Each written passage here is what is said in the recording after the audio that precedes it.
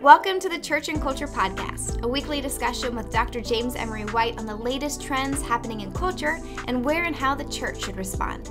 Jim is the founding and senior pastor of Mecklenburg Community Church in Charlotte, North Carolina, president of Serious Times, a ministry devoted to exploring the intersection of faith and culture, former professor of theology and culture at Gordon Conwell Theological Seminary, where he also served as their fourth president, and the author of more than 20 books.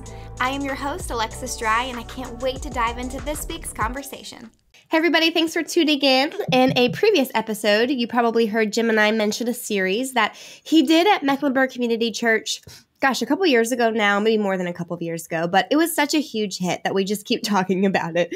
Um, it was called essentially is it okay for a Christian to, and then dot, dot, dot. And each week you chose a particular hot topic issue um, and then gave a Christian perspective on how you might use wisdom to determine whether doing a particular thing would be best or really even acceptable for you at all.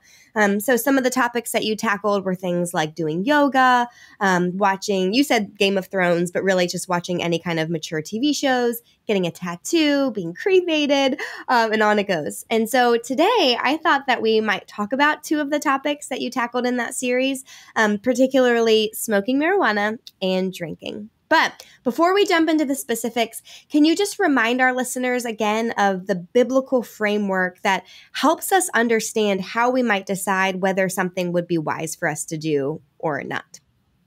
Yeah, I think one of the reasons why it was a popular series is because I purposely chose um, confusing issues mm-hmm. that there's gray area or the Bible doesn't speak maybe particularly directly to, or Christians seemed conflicted about and non Christians were curious about. So, yeah, it, it was. Uh, and what I did was at the very beginning, I, I put forward kind of a matrix that we were going to run all of these subjects through. And um, it actually ended up, that matrix ended up being part of a book. Um, uh, people want to go further on it called After I Believe where I netted out a whole section on, on this matrix. But here it is in short. First, when you have an issue, like like we're going to talk about, um, you go to the Bible. I know that seems obvious, but first you go to the Bible. And if you're going to explore what it means to follow Christ and whether it's okay to do something in relation to being a Christ follower, you're going to go to the ultimate authority for following Christ, which is the Bible. So we go to the Bible and see what it has to say and so on and you do this with any you can do this with any issue and and and something like smoking marijuana or wine you're going to find that it's going to tell you one of three things when you go to the bible. Uh, it's either going to say absolutely you're free to do that. It's going to give you permission. Or second and if it does fine you're done okay you know? Love one another okay i can love. You know i don't have to worry about that. Um, it could also give a very clear and direct prohibition, meaning it says unequivocally, do not do this. Under no circumstances, it's unequivocally, this is, you know, something that uh, is a sin. Uh, and you know you can find all kinds of things where scripture uses extremely strong language and if the bible speaks of you know authoritatively to something and gives a clear and resounding no well then you don't have to waste any more energy on that either then you know even if you don't like the answer you've got the answer and it's clear but what we can also find, and this is a third thing that the Bible can offer, is a kind of a, a blend. And this is where a lot of these issues get uh, confusing for people. There's often a, uh, the Bible give a yes, you can do this, but, or, well, most of the time, no, but sometimes yes. And you, you're navigating this. So instead of an unqualified yes or a straightforward no, you find this guiding set of principles for our engagement, which means we find ourselves in the biblical arena of freedom. And you're free in Christ to do something, and but here are the principles that speak to that freedom, that inform that freedom. Uh, you know, here's the wisdom, here's the counsel, here, here are the boundary lines as you pursue and you explore and experience this freedom that you have in Christ in this particular area. And so the principles inform the freedom. But it's not just about your freedom. There's more to this, the matrix. It's not just your freedom as you follow the principles. Let's say I have the freedom to do something in Christ and I follow all of the principles involved, I, or I set out at least to follow all of the principles involved. But for me, and how I'm wired up and my history and my personality and my temperament, my DNA, my family of origin, you fill in the blank. My individuality and its in its particularity uh, doesn't make it smart for me to exercise that freedom that I actually do have in Christ to pursue. So when I get to the wisdom category, uh, it may be that it's not foolish for you to do it, but it's foolish for me to do it. Um, and maybe on another subject, it's vice versa. And so we have to explore how wisdom comes into play as individuals as we walk through that particular subject and the principles involved. And then the final dynamic has to do with how our life plays out in terms of the community in which we are a part. Uh, because all of us live in community. We have families, we have neighborhoods, we have places of work. So finally, at the end of the process, we have to ask ourselves, um, how does something play out in terms of community and specifically your witness as a Christ follower before a watching world? Uh, you don't want to do anything, even in your freedom, that would be interpreted in our culture as a disavowal of the God that you say that you follow and that's pretty rare, you know, for something to be seen as a disavowal. Uh, there's not a lot you can do where someone would say, "Well, you've just disavowed Jesus. Uh, you obviously do not follow Jesus at all. You must follow another God. You've made it very clear you follow another God." And in light of what we're going to be exploring, I'm sure we'll also get to how your freedom uh, might affect a fellow believer as well. Uh, but I, will let you kind of lead us along those paths and let it get to you, get there when you want to. But to recap, you start with the Bible. And if it tells you yes or no, you have your answer. If instead it gives you principles for living that you must apply in freedom, then know those principles and apply those principles. Uh, but pursue that freedom in light of your witness and its effect on other people. Awesome. Thank you. That's really helpful. All right. So let's talk about smoking marijuana. Um, and okay, just to be clear on the front on the front end, we should distinguish between medicinal and recreational marijuana, right? I think we I think we have to, and I think we should, and I think it's important to separate those two. Uh, we're going to be talking uh, about the recreational use of marijuana, not the medical use. I, I don't I don't really there may be, but I don't know of any Christian ethicist uh, that would have any problem with the appropriately prescribed use of medical marijuana under the supervision of a physician. Um, and its most common use is pain control, uh, as well as to help with the nausea and the vomiting that can accompany uh, uh when somebody receives chemotherapy for cancer. Uh, I think those are the most commonly prescribed uses, although there are others. So we're talking about recreational use of marijuana. Okay.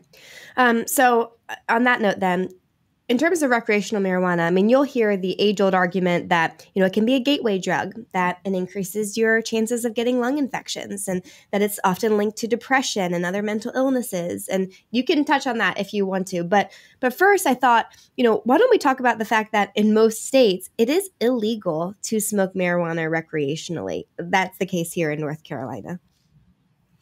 I think that's a good place to start this conversation honestly, in terms of whether or not it's okay for a Christian. If it's against the law where you live, then it's wrong for you, if you're a Christ follower, to smoke it. I mean, that's a very short conversation. And it's not an ethical quandary. It's not something you have to anguish over or do great biblical study on. You're breaking the law, uh, period. Uh, here in North Carolina, as you mentioned, it is against the law. And if you're under that law, then as a Christ follower, you are not to break the law. This is very clear in the Bible. Paul makes it clear in his letter to the Romans in the 13th chapter. He goes and says very, very clearly everyone should submit to the governing authorities, and we must be law abiding unless in following that law we disobey God. Hmm. And then we are, you know, cannot follow the law if the law is you know forcing us to disobey God. Um, but that's not the case in, with marijuana. And another relevant application of this, which I know we're going to get to later, is this applies to drinking alcohol. If you are under the age of 21, then you, as a Christ follower, that would be wrong for you. That would be breaking the law, and you should not do it. Mm, okay. All right. So, if it's not illegal where you live, should Christians then feel the freedom to smoke? All right. Well, here we get into it, don't right, we? Yeah. well, here's the principle that applies no matter uh, where you live. And it's the principle that your body is the temple of the Holy Spirit and that we must honor God with our body. Uh, Paul talks about this in 1 Corinthians um, 6. Uh, does using marijuana honor God with your body? Well, unlike alcohol, and it's good that we're we're talking about both together, but we there's some some key distinctions between the two. Unlike alcohol, uh, which again I know we'll talk about in a minute. Marijuana is a psychoactive drug. Mm-hmm. It's a different category. What you're smoking is um, uh, delta nine uh, tetrahydrocannabinol, THC. That's a mouthful, as it's known, and it creates altered senses and an altered sense of time and hallucinations and sensations and images that seem real even though they are not. It can bring about temporary paranoia, and that's just in the short term. Uh, Long term use may reduce thinking, uh, memory, uh, learning functions can be affected by this, affects how the brain builds connections between the areas necessary for those functions. Uh, smoking marijuana affects your lungs just like any other kind of smoking, including the creation of breathing problems and lung illness and, and a higher risk for lung cancer. Because of its effect on your heart, you increase your chances for heart attack. Uh, it affects almost every organ of your body, as well as your nervous system and your immune system. Uh, except for medicinal use for pain, for example, there's no benefit to it whatsoever, only damage to your physical life and the rest of your life too. I mean, users um, report less academic success, less career success, higher likelihood of dropping out of school. Uh, it's linked to more job absences and accidents and injuries. The younger you start, the more debilitating it becomes and the more potentially addictive it becomes. And contrary to what a lot of people think, it, it can be very addictive. One out of every three users develops some degree of problem use. One out of every three. Uh, some people say it's not a gateway drug, but I was I remember listening to a documentary uh, on the whole opioid crisis in America, which is sweeping uh, our nation, and particularly heroin too, which is having a resurgence. Mm. And there was a health a health expert who was being interviewed uh, about whether marijuana is a gateway drug. You know, that's debated back and forth. Is it a gateway drug? And he said, "Here's the simplest answer I know. Every single addict I deal with." Started with marijuana. Hmm. Every single one. I don't know the reports, he said. I quite frankly, I don't know the science. I just know that every single addict I deal with started with marijuana. You can do the math any way you want based on that. Hmm. Uh, and another thing too is the amount of THC in marijuana has gone up dramatically uh, in recent years. According to WebMD, uh, most leaves used to contain between 1 and 4% THC. Now most have close to 15% mm. THC. And marijuana uh, extracts used in dabbing and in edibles now can contain an average of 50% and up to 90% THC, which experts say increases the chances of addiction anymore, even more, not to mention its mind altering effects. Mm. And the Bible warns against losing control through intoxication. And unlike alcohol, which can take some time for it to hit and is easier to monitor in terms of intake, marijuana hits almost instantaneously, almost immediately. Uh, so, so what's the verdict? I mean, if, if it's illegal where you live, case closed. Uh, and in light of your body being the temple of the Holy Spirit, Christians should be cautious. Uh, outside of the medical use of marijuana, there's no known benefit and quite a bit that points to harm. And again, it's it's very different effect than with something like you know wine or craft beer or, or sipping whiskey or something. It's hallucinogenic. Uh, and I know what some of you are thinking. You, are saying some people are there saying no, it's not. No, it's not. And it's no different than getting a beer. And you would know that if you tried it. So how would you know about smoking marijuana? Well, two reasons. Uh, one, this is what medical science has concluded. Mm. But second, it's because I have smoked marijuana. And I know exactly how different it is than drinking something like beer or having a glass of wine. I didn't become a Christian until I was in my 20s uh, in college. And while I didn't try marijuana until I was a freshman in college, uh, mostly because I wasn't sure how it would affect me athletically, and I was attempting to go walk on for basketball at my school. I certainly tried it and unlike alcohol, it is a hallucinogen and it is different. It's much more mind altering. Uh, it's in a different class. Uh, even back then, when the THC levels were much, much lower than typical recreational usage is today. So I'm not going to say that this is absolutely categorically wrong for every Christian. I do think we need to ask ourselves, though, if using it is wise. And without a doubt, using it in excess is not. Mm. Before we leave the topic of marijuana, can we just touch really quickly on CBD? Like, is there any reason why a Christian might want to stay away from that? Not that I know of. Okay. Um, for those that may not know what you're talking about, a CBD is uh, is um, is short for cannabidiol. Uh, it's a substance found in both marijuana and hemp plants. Uh, it does not make you high. Uh, CBD can be made into CBD oil and sold as pills and gels and creams and other formulas. Some use CBD to treat pain or seizures or other health problems. I will say that as of right now, scientists aren't yet sure whether or not it really, how well it works mm. for those things, or if it's completely safe over the long term. Uh, also, lack of regulation means you can't always know exactly what you're buying, the quality of it, or something like that. Uh, so again, I'd be cautious about it, and uh, but yeah. Okay, thank you. Well, let's talk now about drinking. I don't feel like there's as big of a stigma now for a Christian to drink casually as there was in previous decades, but it's certainly still a point of discussion, especially because there's there's a difference between as you mentioned like having a glass of wine with dinner and then drinking to get drunk. Or maybe I should let you answer that. Isn't there a difference between those two things? The Bible has three basic things to say about drinking things like wine. And wine was the primary alcoholic beverage that uh, during biblical times and the one that is most referenced to in terms of what scripture has to say. So whenever the bible refers to alcohol it's usually referring to wine. Uh, that's the alcoholic drink. Uh, they had beer back then but it didn't taste very good. So you can hmm. see why most people drink wine. In fact there was a team of archaeologists fun little side note who tried to recreate biblical beer what beer would have tasted like back then and they said you don't we don't ever want to do that again so you can see why more people drank wine than beer, at least in that time. Mm. Well, here are the three things that the Bible says about it. First, that it's good for you. Um, the Apostle Paul even recommended it to uh, a young pastor named Timothy that he was mentoring. Uh, you can look this up. It's in 1 Timothy 5. And Paul told him to stop drinking only water and start drinking some wine because of his stomach and frequent illnesses.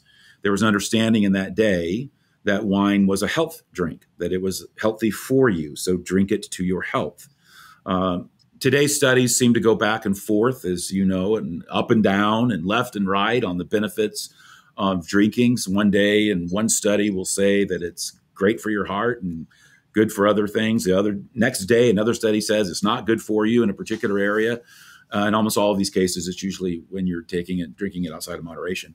But many studies uh, do laud its benefits, particularly in light of the benefits of um, resveratrol, which is um, a compound in wine and particularly stronger in red wine. There have been studies show that moderate consumption of wine can help prevent colon cancer and breast cancer and dementia. It can be good for your heart. It can be good for your microbiome, uh, meaning the beneficial bacteria and, and fungi and viruses that live in your body uh, which means it helps your immune system and, and food digestion and even diseases like irritable bowel syndrome. Now, granted, there are other studies that point out to ways it can be harmful too, and not to downplay that, uh, but that can be said of so many things that we ingest. Mm. Uh, but in writings like Paul's to Timothy, it was considered that it could be good for you and was good for you, and actually Paul recommended him to do it. Uh, second, the Bible says, and, and again, that's a narrative scripture. It's not didactic. There's nothing that says, thou shalt drink wine for your health. But it is interesting that the Holy Spirit allowed that narrative to be included in the scriptures. Mm. Second, the Bible says that not only can it be um, good for you physically, but it makes many, many verses about how it can be good for you emotionally, uh, even to be seen as a gift from God and treated as a gift from God. In Psalm 104, it talks about how God gave us wine to make us glad and in Ecclesiastes, it talks about drinking wine with a joyful heart. And then, of course, Jesus' very first miracle was, of all things, turning water into wine uh, for a celebration to continue with that alcoholic beverage and not run dry. Uh, he was at a wedding. They ran out of wine, and Jesus miraculously created more. And yes, it was real fermented wine. It wasn't just grape juice. Mm-hmm. Uh, nothing else would have been served in a wedding of that sort. And even the master of the banquet comments that not only was it good wine, but that most people don't bring out the good stuff until after everyone has had enough to drink that they couldn't taste the difference, right. uh, meaning that they were uh, appropriately, I think the term in the Greek is, a little buzzed. so, uh, so yes, it was maybe a little more diluted back then, uh, just based on the customs of the day, to the strength of about a beer. Uh, but you know, it was definitely the real thing. So let's add up what we have from the Bible. Uh, alcohol, specifically wine, which was the main alcoholic drink of that of that day, and so you can extrapolate it out, was considered to be good for you, even um, prescribed by an apostle. Second, it was seen as a gift of God to cheer the heart and to use in celebration. And not only did Jesus make wine with his first miracle, but uh, and he would never have performed a miracle to facilitate a sin. Hmm. Never would have done that. Uh, uh, the Bible also records that Jesus drank wine. He drank. I mean, he even said he did. When answering some of the criticism that was coming his way, particularly that he wasn't following all of the added rules and regulations of the legalistic community, he took them to task for finding fault with people no matter what they did. And he famously said, you know, John the Baptist came abstaining. He didn't drink wine, and you said he was possessed. I came drinking wine, and you call me a drunkard. You know, we can't win with you guys. Mm. Uh, and at the Last Supper, just before his death, right after um, passing the cup of wine, Jesus said that he wouldn't drink again of the fruit of the vine until he would drink it anew in the kingdom of God, which suggests there will be wine in heaven. Mm. Uh, having said all that, uh, there's something else the Bible adds to the conversation. Be careful with it. Mm. Be careful with it. It should not fall over into habitual, ongoing drunkenness or into an emotional or physical dependence that consumes and then destroys, excuse me, your life. Um, this isn't about making the mistake of having one too many drinks or bad decision making, which all of us can fall prey to, um, but about giving your life over to it hmm. uh, or a life being taken over by it. And that doesn't bring physical health or emotional health, it brings destruction. Uh, its abuse isn't wise. And you know, you, you can see lives completely taken over by this and destroyed, which is why in the great wisdom book of the Bible, uh, but you can see that about a lot of things, to be quite honest with you. Mm-hmm. Um, and, but which is why in the great wisdom book of the Bible, uh, which, while it celebrates wine for our lives, it also cautions against its abuse. Um, so well, so the Bible, while it is silent on marijuana specifically, it isn't silent on getting drunk. So, how might we interpret its words for our modern context? Well, beyond what we've already talked about, mm-hmm. um, we can run it through our biblical paradigm. Is there a prohibition? No. Uh, is there permission? Absolutely. And not just permission, but even commendation. Are there principles? Yes. The main one is to try to keep it in moderation. Uh, so, why are some Christians so hung up on this? Mm-hmm. Because they're not sure how best to keep it in moderation, mm-hmm. how best to, to, walk that that line. Uh, some, fearing any slip up at all, just feel like it's best to abstain completely. Others drink wine every day, uh, and most of the time they're able to self moderate. So, which one is living Christianly? Both. Both. Which brings us to the issue of wisdom. If drinking is is something that begins to take over your life, as I mentioned, then you should be more on the abstinence side of things or take periodic breaks to ensure that it doesn't get a grip on you, even if it's just taking a month off every now and then to recalibrate things. Um, if drinking stays in the health and joy category, um, even if you slip up from time to time and perhaps have one too many, it can probably stay in the partaking category. That's just common sense. And the Bible gives us the freedom to enter into that journey of wisdom. And, and, it, and it may be that it's a bit of both. Uh, I read an interesting article in Christianity Today, and um, we'll put it in the show notes. And it was titled A Toast to My Journey with Wine. Hmm. And knowing that we were going to talk about this, I, I I remember reading it and I brought it with me. Okay. Uh, and so let me read uh, part of what she writes. She says, I love wine. I, I love the complex taste of it on your tongue, the nuances that I can sense but not name. It brings out the flavors of a good meal. It rivers between friends at a table, carrying the conversation to places you never meant to go. I love the feel of stemware in my hands and the way that red wine glows like a jewel in the kitchen light. I don't think it's a coincidence that it was a glass of wine that Jesus picked up during that Last Supper when he said, This is my blood of the covenant shed for many. Not water, wine, with all of its potential misuse. Take, drink, do this in remembrance of me. When we do wine right, it's communion. It's a holy mystery. It's a gift. But it's also possible to do it wrong. And I have. I pour another glass, even when I know I shouldn't. At times, instead of talking about my pain and failures, my exhaustion and frustration, I drink about them. It's a fake and temporary solution at best, and a wicked hangover at worst. Much of the time, I am able to keep my footing on that spacious path of sweetness and beauty. Hmm. I'm glad you brought that. That's, yeah, thank you.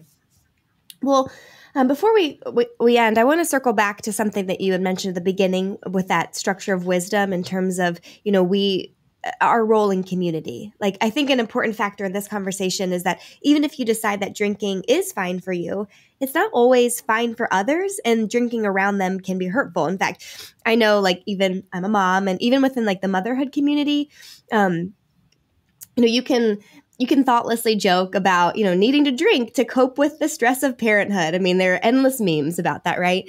And um, but I was gently reminded by a podcast I was listening to recently about, you know, the fact that some parents are struggling with alcohol dependency and it's really harmful to constantly hear all these references to you know in support of you know drinking at your parent your kids driving you to drinking essentially so all that to say like how might we be wise and loving about the influence that our choices the influence of our choices when it comes to drinking well, that does bring up what we talked about at the beginning. Uh, so I'm glad we're returning to it for you know further conversation. In other words, how all this plays out in the context of community. In other words, what your freedom might mean to other people.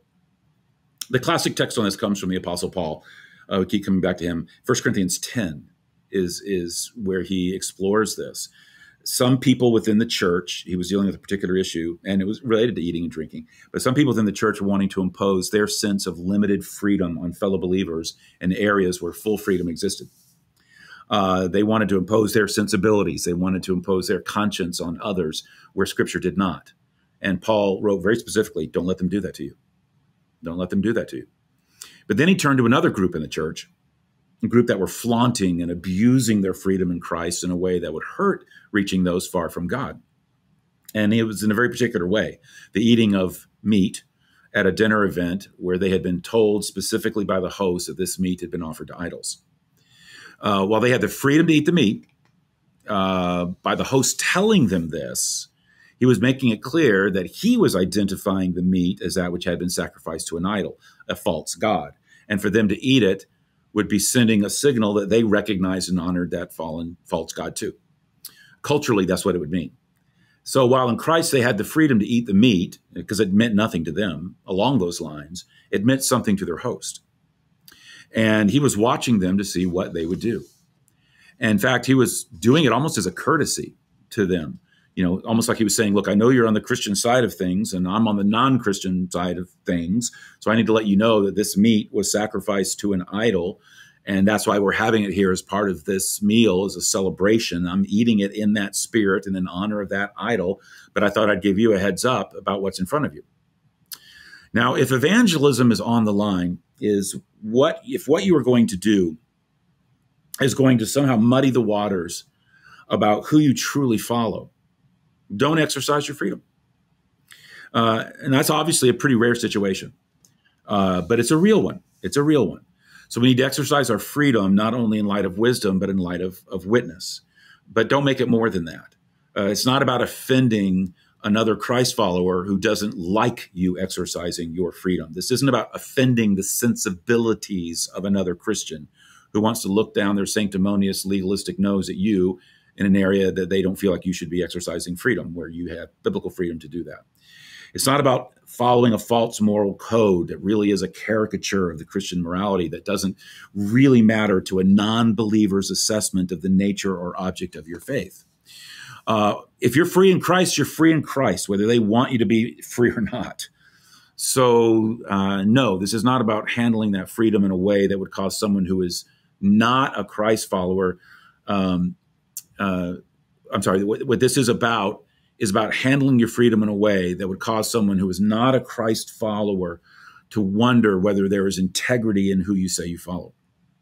This is about handling that freedom in a way that would um, um, inadvertently or advertently uh, cause someone who is not a Christ follower to wonder whether there's any integrity whatsoever about who you say you follow. Not in terms of the perception of sinning. Paul is talking about the perception of disavowal. Uh, very important distinction. Do what you want within the confines of freedom. Uh, but in, if in so doing it, you may inadvertently be saying to the world around you that you might not follow Christ, uh, but another God, don't use that freedom. But no one would say that about drinking wine. Uh, if you saw me having a glass of wine at a restaurant or having a craft beer at a brewery, uh, you wouldn't think I was rejecting Jesus for another God. You wouldn't think that at all. So that's first. But now on to your scenario. Uh, in the New Testament book of Romans, the Apostle Paul talks about being careful how you exercise your freedom in light of how it may affect what others who are new to the faith or weak in the faith he says over and over again there's freedom to eat, there's freedom to drink, whatever it is you want. And for Christians not to judge other Christians who exercise that freedom differently than you do. The abstainers should not be judging the partakers, the partakers should not be judging the abstainers. But then he says, but live in such a way that you won't cause another believer to stumble and fall. Would eat what you want, but it's better not to eat meat or drink wine or do anything else if it causes another to stumble. Um, now, here, Paul, again, isn't talking about Christians who legalistically are offended that you exercise your freedom to have a glass of wine or drink a beer or have a margarita for Cinco de Mayo. He goes out of his way to say Christians should not do that to each other in areas of freedom. And he says what you drink is an area of freedom. So, what is he talking about? The weak are those who are spiritually vulnerable to that area of freedom, and you need to be sensitive out of love to their vulnerability. For example, with drinking, thinking about a brand new Christian who came out of uh, who came to Christ out of alcoholism. Uh, do you want to take them out uh, for a drink while you mentor them in the faith? Do you want to say, let's have a standing date at this brewery, uh, and while I get a beer, while I try to disciple you in your newfound faith? No, that would be insensitive and ridiculous. Uh, if they are a part of your small group and you know this about them, is it best to serve wine during that small group? Probably not. See, that would be using your freedom in an area where you're fine, they're weak in a way that could lead them to stumble. You're almost taking them to the area of their weakness and saying, Here, um, you know, re enter this lifestyle that you desperately needed to leave. Don't do that. But again, those situations are very, very, very rare.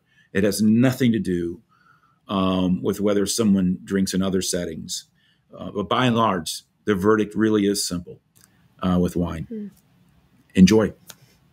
Well, thanks for tackling the, this. Um, I guess these two topics. This was fun. I'm sure we'll do another one of these. Is it okay for a Christian to maybe not lifted from that previous series? But gosh, there are so many new topics that we could um, talk about too. So, but this is always such a helpful conversation, especially working again through that wisdom, you know, structure and because yeah there are just so many things that we're facing nowadays that don't maybe have that clear yes or no in the bible that this is just really helpful a really helpful framework um, to understand how we can approach those. So thank you um, and guys thank you for tuning in and yeah we'll see you again next week